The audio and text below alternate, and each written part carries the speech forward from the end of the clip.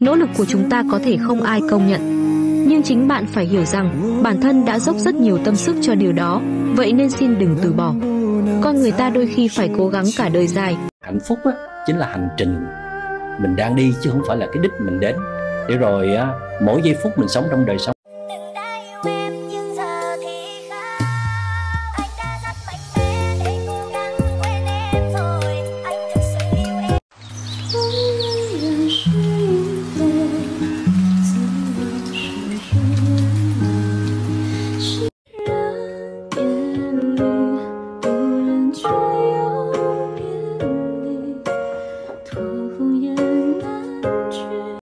sau khi trải qua những thăng trầm của cuộc đời nhìn thấu được sự ấm áp và lạnh lẽo của thế gian con người ta sẽ ngày càng trầm lặng hơn.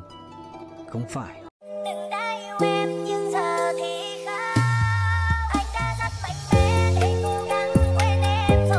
Tình yêu này vốn dĩ đã chẳng thể ở bên nhau được dài lâu. Nhớ thương một người nhưng trong